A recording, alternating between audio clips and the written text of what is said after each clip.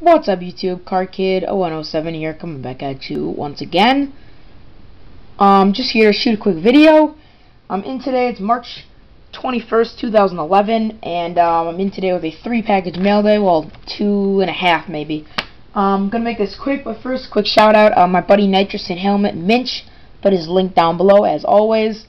Um, unbelievable member of the community. It's his birthday today. I'd appreciate it. I'd appreciate it if everybody who is watching this video could please hit the subscribe button on his channel and please, please, please wish him a happy birthday.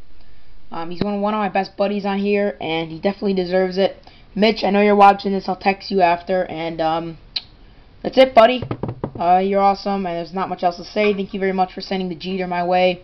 Definitely unappreciated. I mean, definitely very appreciated, excuse me. Um, and definitely unnecessary is what I was trying to say, but... Alright guys, on to the mail day. First got a TTM failure from Yogi Berra. Sent back a price list. Said he wants $100 for baseball cards. Yeah, $100 ain't worth it.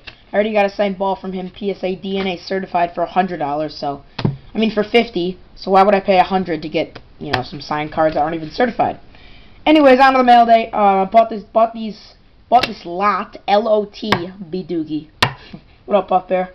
I uh, bought this lot on Sunday yesterday. It took a day to ship. What up, quick shipping from eBay? Um, three card lot. Bought this all for $3.50 shipped.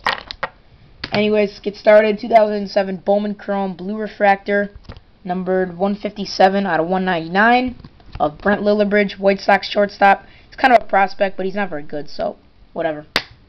Uh, I uh, didn't have any cards from him, so I just picked it up. 2010 Bowman Chrome Purple Retail Refractor of Austin Jackson. Great player on the Tigers. Enough said. And for the Future Hall of Fame PC, numbered 11 out of 539 from 2010 Bowman Platinum. It's a gold refractor of Chipper Jones. Beautiful card. Um, definitely goes into the Future Hall of Fame PC. He will be a Hall of Famer. Um, so Chipper Jones, very cool card. Um, so I got all that for 350 shipped.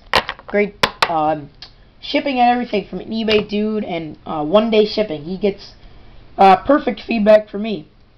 Next, I bought a vintage card for 99 cents with $2.50 shipping, and I was only bidder. It's in mint condition from 1961 Fleer Baseball Greats, Mr. Lloyd Waner. Uh, beautiful card. It's just in mint condition. I mean, this card is just sweet in person. There you go.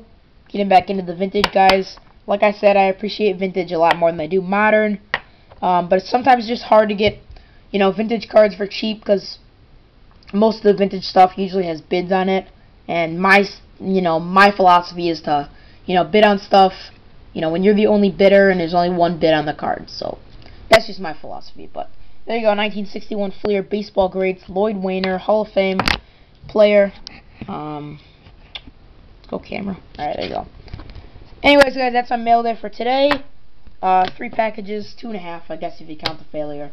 But my suggestion that you don't waste your stamps on Yogi Berra because he is a priceless now. Even though I saw I saw some successes from him. What up, Zane Vlog?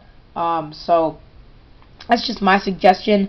I should have listened to Zach Below 66, but uh, my gut instinct said to go send it, and Triumph sent him a very nice letter. So I guess that didn't work. But anyways, guys, that's all I got for today.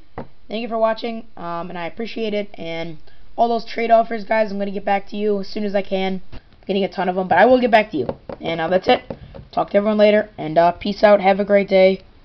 Go wish uh, Nitrous Inhalement a happy birthday. How about that? Alright, guys. Peace out.